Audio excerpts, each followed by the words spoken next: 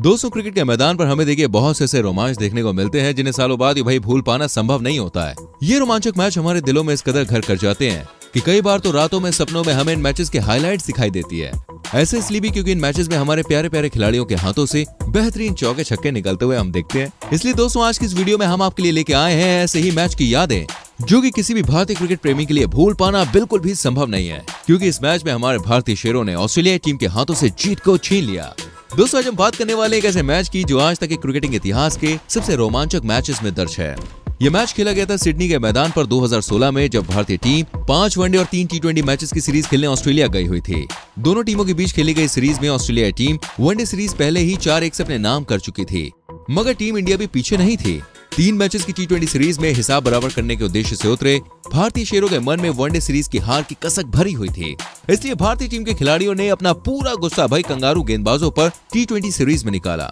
हम जिस मैच की बात करने वाले हैं वो इस दौरे पर खेला जाने वाला आखिरी मैच था। इस मैच के पहले भारतीय टीम टी सीरीज़ को अपने नाम कर दो शून्य से आगे चल रही थी। इस मैच में भी अपना प्रदर्शन बरकरार रखने और सीरीज़ क्लीन स्वीप करने के उद्देश्य से हमारी टीम मैदान पर उतरी हुई थी। सिडनी के इस खूबसूरत मैदान पर दर्शकों की भीड़ खचाखच भरी हुई थी। दोनों टीमें इस आखिरी मैच के लिए अपनी अपनी कमर कस चुकी थी। दोनों टीमों के कप्तान शेन वॉटसन और महेंद्र सिंह धोनी टॉस के लिए बीच मैदान पर पहुँच जाते हैं। टॉस का सिक्का उछलता है। और जाकर गिरता है ऑस्ट्रेलियाई टीम के पक्ष में। टॉस जीतकर ऑस्ट्रेलियाई टीम पहले बल्लेबाजी करने का फैसला करती है, जिसके नतीजे इस टीम के ओपनर उस्मान ख्वाज और कप्तान शेन वॉटसन बल्लेबाजी करने के लिए पिच पर उतरते हैं। दोनों ही बल्लेबाजों के ऊपर अपनी टीम को यह आखिरी मैच जितवाने और भारत को क्लीन स्विप करने से रोकने की बड़ी ज़िम्मेदारी थी, और जिसके नतीजे दोनों ही बल्लेबाजों ने अपनी टीम को सदी हुई शुरुआत दी। ख्वाजा ने अपने शुरुआती हाथ बखूबी आजमाए, लेकिन उनकी शुरुआत बड़े स्कोर में बदलती उसके पहले हमारे सीनियर गेंदबाज नेहरा जी ने भाई उनको माही के हाथों झिलाकर चलता कर दिया कि जाओ बेटा पवेलियन जाओ वापस चलो। लेकिन अपना छोर संभाले टीम को विस्फोटक शुरुआत देने के लिए शेन वॉटसन एक छोर पर अभी भी डटे हुए थे। उन्होंने बेहतरीन चौक और छक्कों के साथ शॉन मार्श के साथ मिलकर एक अर्धशत की साझेदारी की। मार्श के जाने के बाद मैक्सवेल भी सस्ते में निपट गए, लेकिन वास्तव में अभी भी डट कर भारतीय गेंदबाजों की खाल उधेड़ने में लगे थे। मैक्सवेल के जाने के बाद बल्लेबाजी करने आए ट्रेविस हेड के साथ मिलकर, इन दोनों ने टीम के स्कोर को मात्र 17 ओवर में एक सौ अड़सठ रनों तक पहुँचा दिया। लेकिन ट्रेविस 26 रन बनाकर पवेलियन लौट गए। अभी भी इस पारी में तीन ओवर्स बाकी थे, जिसमें शेन वॉटसन ने क्रिसलिन के साथ मिलकर भारतीय गेंदबाजों को भाई नानी याद दिला दी। उन्होंने भारतीय गेंदबाजों की जमकर धुनाई की और निर्धारित 20 ओवर्स में 197 रन का एक बड़ा लक्ष्य भाई स्कोर बोर्ड पर सेट कर दिया। आप उस दिन दोस्तों वॉटसन के रौद्र रूप का अंदाज़ा इसी बात से लगा सकते हैं कि उस दिन टीम के 197 रन्स में से 124 रन्स वॉटसन ने नाबाद बनाए थे। जी हाँ पता नहीं कौन सा जूस पी के आए थे, जिसमें 10 चौके थे, छह छक्के शामिल थे। बेहतरीन ऑस्ट्रेलिया बोलिंग यूनिट के सामने भारतीय टीम के लिए बड़ा लक्ष्य बिल्कुल भी आसान नहीं होने वाला था। लेकिन जिस टीम में माही जैसा कप्तान हो यार, उस टीम के लिए कुछ भी असंभव नहीं होता है। मैच की सिचुएशन को समझते हुए माही ने ड्रेसिंग रूम में मैच टैक्टिक्स के ऊपर चर्चा की और खिलाड़ियों को मैच के हिसाब से बल्लेबाजी करने का सुझाव दिया। मैच की दूसरी पारी में टीम टैक्टिक्स के अनुसार तैयार, भारतीय टीम के दोनों विस्फोटक ओपनर रोहित शर्मा और शिखर धवन, जिन्हें ऑस्ट्रेलिया टीम और मैदान दोनों ही पसंद आते हैं, वो बीच मैदान पर पहुँच चुके थे।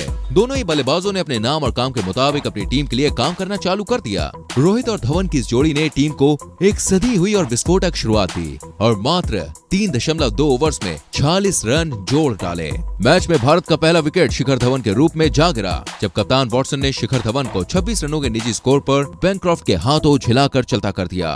उनकी जगह बल्लेबाजी करने आए दुनिया के तीसरे नंबर के सबसे शानदार बल्लेबाज विराट कोहली।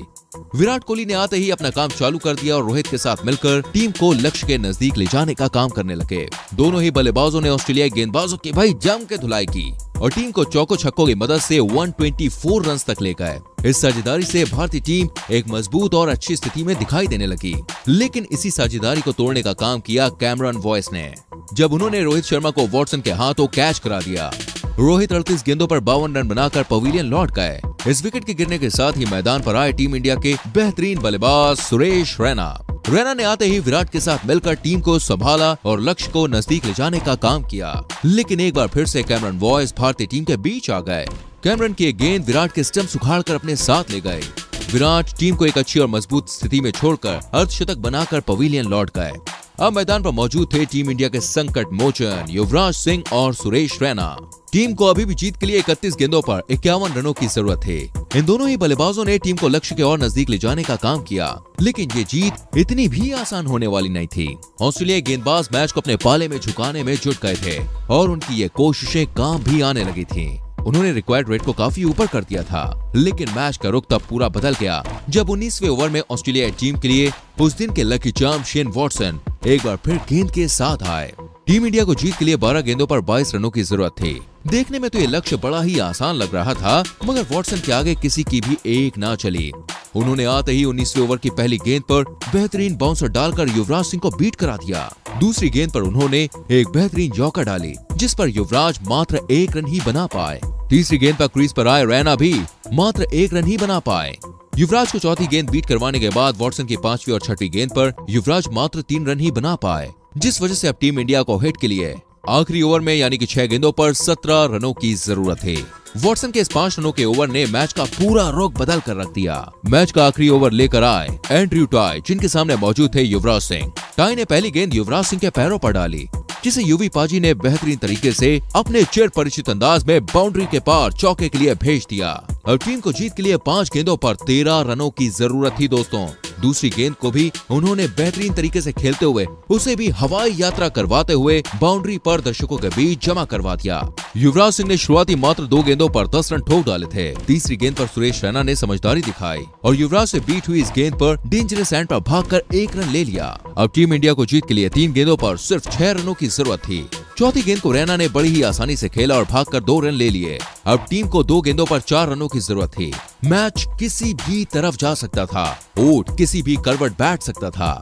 माई भी बाउंड्री पार खुद वार्म अप करने लग गए थे अब। हर खिलाड़ी, हर दर्शक मैच की हीट में अपने नाखूनों को काट रहा था। सभी की धड़कने रुकी हुई थी। जब पांचवी गेंद लेकर टाई ने भागना शुरू किया, लेकिन इस गेंद को भी रैना ने बड़ी आसानी से दो रनों के लिए जमा करवा दिया। अब मैच आखिरी गेंद पर जा फंसा था। अब टीम इंडिया को आखिरी गेंद पर जीत के लिए दो रनों की ज़रूरत थी। सुपर हिटेड मुकाबले और टी ट्वेंटी सीरीज़ को क्लीन स्वीप करने के लिए किनारे पर खड़ी भारतीय टीम अब सिर्फ़ दो कदम दूर थी। मैदान पर मौजूद हर किसी का कलेजा मुँह को आ रहा था। मैदान पर हो रहा शोर एकदम शांत हो चुका था। हर किसी की निगाह इस आखिरी गेंद पर टिकी हुई थी। टाई ने भागना शुरू किया और एक बेहतरीन गेंद भी फेंकी, मगर रैना ने उसे और भी ज़्यादा बेहतरीन ढंग से खेलते हुए एक शानदार चौके के लिए बाउंड्री पार भेज दिया। टीम इंडिया खुशी के मारे झूमने लगी। मैदान पर भारत माता की जय के नारे लगने लगे और चक दे इंडिया गाना फुल वॉल्यूम में बज रहा था। भारतीय शेरों ने तिरंगा सिडनी के मैदान पर गाड़ दिया। तीन मैचों की सीरीज़ में टीम इंडिया क्लीन स्वीप कर चुकी थी। भारतीय दर्शक और खिलाड़ी उल्लास से जश्न मनाने में व्यस्त हो गए थे। मैच खत्म हुआ और टीम इंडिया ने सीरीज़ अपने नाम की। टीम इंडिया को ट्रॉफी मिली और आपके और हमारे जैसे क्रिकेट प्रेमियों को एक बेहतरीन मैच की यादें, जो आज भी हमारे दिलों में ज़िंदा है। आज उन्हीं यादों को पिनफेक्ट परिवार आपके सामने लाया है। कैसी लगी वीडियो दोस्तों कमेंट करके बताइएगा। प्लीज़ वीडियो को लाइक करके शेयर कीजिएगा। और आने वाली वीडियोस को देखने के लिए चैनल को सब्सक्राइब करके बेल आइकन प्रेस कर लीजिए, जिससे आपसे कोई भी वीडियो मिस ना हो। मिलते हैं अगली वीडियो में दोस्तों। Till then bye take care मेरी चैनल